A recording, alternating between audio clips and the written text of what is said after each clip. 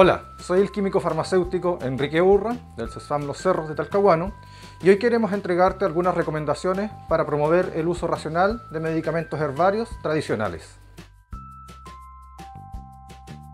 Las hierbas medicinales pueden apoyar el tratamiento de múltiples enfermedades, incluyendo algunas crónicas, como la hipertensión arterial, la diabetes y la dislipidemia. Si bien su uso contribuye a controlar síntomas y en algunos casos la enfermedad misma, este es complementario al tratamiento con medicamentos, por lo cual no debe suspender el uso de los fármacos recetados por el médico. También hay que tener en cuenta que el uso de hierbas medicinales se puede sumar a otras medidas terapéuticas como lo son la dieta y la actividad física. Por otra parte, existe la creencia popular de que, por tratarse de un producto natural, estos no producen efectos adversos.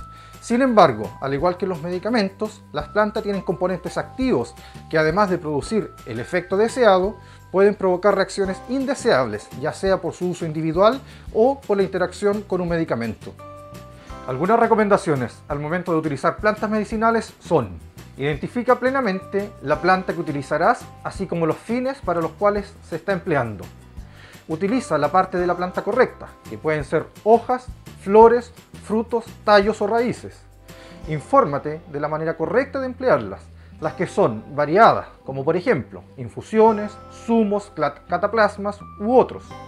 Niños, adultos mayores, mujeres embarazadas o en periodo de amamantamiento son más vulnerables a presentar efectos adversos, por lo que antes de utilizar una planta en ellos, consulta con un profesional de la salud sobre su conveniencia.